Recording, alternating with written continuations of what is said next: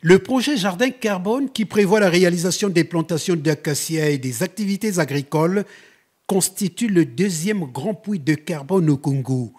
Il vient s'ajouter sur la liste d'autres projets durables en cours dans le pays, notamment le projet Bakassi, Bakteke Carbone, financé par le groupe Total Énergie et mis en œuvre dans la réserve foncière de la Léfini. C'est la matérialisation et la pérennisation de la vision d'un homme. Mais cet homme, c'est Denis Sassou Nguesso.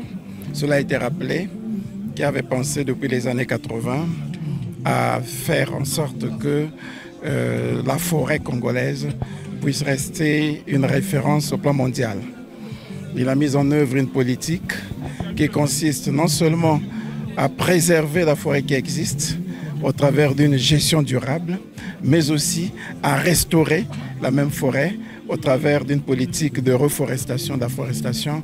Il vous souviendra de la forêt de l'unité nationale en 1991, profitant de ce que tous les Congolais s'étaient assemblés euh, pendant la conférence nationale souveraine. Il vous souviendra que toutes les fois que nous organisons des concertations à l'intérieur du pays, souvenez-vous du dialogue de Sibiti qui avait été sanctionné par une forêt à Sibiti. Souvenez-vous, pas loin de nous, du sommet des trois bassins à l'issue duquel le président de la République a mobilisé et tous ses pairs et tous les 5000 participants pour euh, planter une forêt au niveau de l'université de Nice à Donc, c'est une vision que nous avons voulu rendre pérenne, mais elle est partagée partout. Nous avons été surpris de constater que le secrétaire général des Nations Unies a décerné toute une décennie à la restauration des écosystèmes.